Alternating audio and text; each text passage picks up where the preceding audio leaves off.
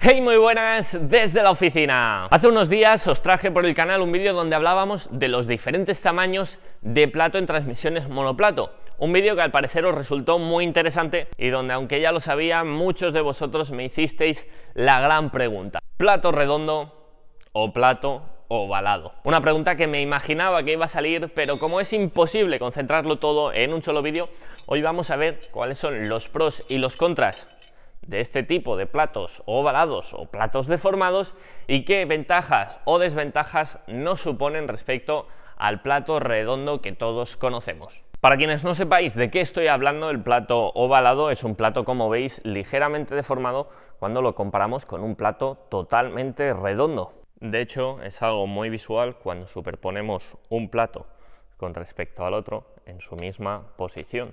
Vemos por tanto como el plato ovalado es en estos extremos más grande, mientras que en estos extremos de aquí es más pequeño. Quedaos con este dato.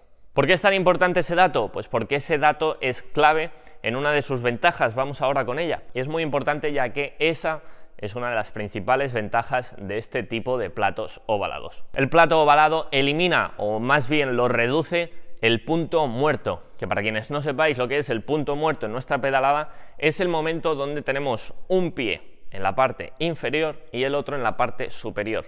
Ese punto en el que hemos de avanzar con un pie respecto al otro es el que más nos cuesta. Ya sabéis que cuando estamos parados y queremos arrancar nuestra bicicleta, ponemos un pedal ligeramente más avanzado para así solamente tener que hacer fuerza hacia abajo. Cuando un niño aprende a ir en bicicleta, se encuentra con que da esa pedalada hacia abajo, pero cuando llega a ese punto que le cuesta, en muchas ocasiones tira hacia atrás para volver a pedalear solamente haciendo fuerza y presión hacia abajo. Ese punto que tanto nos cuesta poder avanzar es lo que llamamos el punto muerto y se ve reducido con el plato ovalado. Se ve reducido gracias a que el plato ovalado nos simula un plato de menor dentaje cuando estamos en ese punto concreto. Como habéis podido ver, el plato redondo, que es igual en toda su circunferencia, es más grande en el punto donde tenemos una biela arriba y una biela abajo con respecto a un plato ovalado. Esto hace que nos sea más difícil avanzar ese punto con un plato redondo y sin embargo nos facilita ese gesto el plato ovalado. Ese es uno de los principales motivos por los cuales los platos ovalados están triunfando tanto y además lo hacen entre gente que sufre problemas de rodilla, debido a que nos reduce ese punto en el que tanto nos cuesta avanzar. Si tenemos un problema donde tenemos que hacer ese exceso de fuerza en ese punto y tenemos además problemas en las rodillas que nos dificultan eso, el plato ovalado nos reduce esa dificultad de avanzar, con lo cual nos va a venir muy bien para las rodillas en caso de que tengamos problemas de rodilla. Otra de sus ventajas, gracias a esa ovalidad de la que hemos hablado y que habéis podido ver en comparación de un plato con otro, el plato ovalado nos va a permitir avanzar más y además acelerar mejor nos va a permitir avanzar más porque en el momento en el que estamos empujando y haciendo fuerza hacia abajo con un pedal, pasamos ese punto y volvemos a hacer fuerza hacia abajo, en esos puntos el plato ovalado nos simula un plato de mayor dentaje con respecto a un plato redondo. Y es que a pesar de que la diferencia no es muy grande, sí que es suficiente como para podernos diferenciar con respecto a alguien que lleve un plato redondo en ese punto donde empujamos más de nuestro pedal. Si a eso se le suma que una vez empujamos más, nos es más fácil pasar ese punto muerto y continuar empujando más que con respecto a un plato redondo, pasar más fácil ese punto muerto y así sucesivamente va a ser que la aceleración, que el momento en el que decidamos acelerar y arrancar con nuestra bici sea más fácil y más rápido hacerlo con nuestro plato ovalado. Estas son sus tres principales ventajas. Eliminan o por lo menos lo reducen ese punto muerto, nos van a reducir que no eliminar los problemas de rodilla en el caso de que los tengamos y además nos van a permitir avanzar y acelerar mejor. Pero si todos son ventajas, ¿por qué no todas las marcas montan monoplato? ¿Por qué las marcas no hacen platos monoplato originales para sus bielas? Pues bien, vamos a ver ahora sus desventajas. Uno de los principales problemas de este tipo de platos, y estoy seguro que quienes los hayáis montado os lo habréis encontrado, es el hecho de que necesitan, requieren de un tiempo de adaptación. Cuando montamos un plato de este tipo y estamos acostumbrados a ir en una transmisión monoplato o doble plato con platos redondos, vamos a notar alguna dificultad a nivel muscular para llevar este tipo de platos. Y es que justamente esas ventajas que hemos comentado anteriormente, donde pasar ese punto muerto es más fácil y luego nos invita a hacer un poco más de fuerza en ese punto donde más fácil nos supone hacerla, hace que nuestra musculatura tenga que readaptarse, hace que nuestro sistema acostumbrado a un plato redondo necesite adaptarse a este cambio en el pedaleo.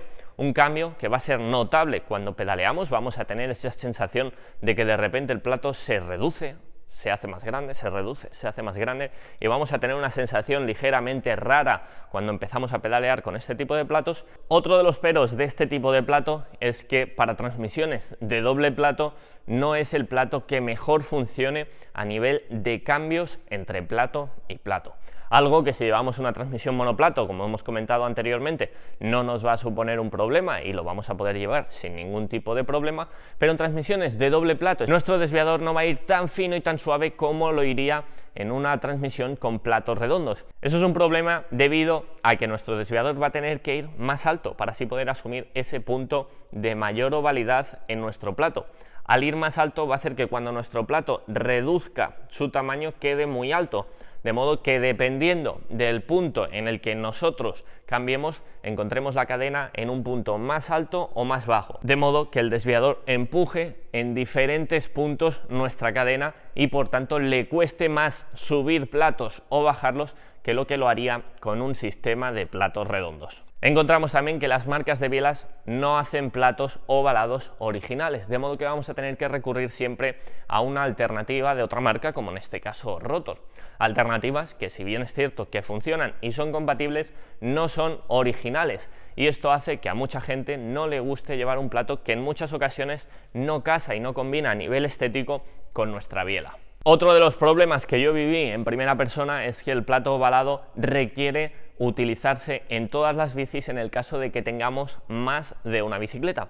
En mi caso llegué a montar y a probar el plato ovalado en la bicicleta de montaña. Y si bien es cierto que si solamente haces montaña te adaptas y te va a funcionar de maravilla, pero si tienes dos bicicletas necesitas montar este tipo de plato en las dos bicicletas. Y estos son los pros y los contras del plato ovalado respecto al plato redondo. Sin duda las ventajas del plato ovalado son clave, son factores que hacen que veamos tanto este tipo de platos en corredores o en bikers profesionales, tanto de montaña como de carretera. Independientemente de cuál sea la modalidad, vemos como muchos profesionales hacen uso de este sistema de platos ovalado gracias a todas esas ventajas que superan en la mayoría de los casos a nivel de rendimiento las desventajas que puedan suponer con respecto a un plato redondo. Y esta ha sido mi experiencia personal con este tipo de platos ovalados y estos son además los pros y los contras de los platos ovalados. ¿Qué os parecen a vosotros este tipo de platos? ¿Los conocíais ya? ¿Los habéis probado? Os leo como siempre abajo en comentarios y como siempre, muchas gracias por verme. Nos vemos muy pronto.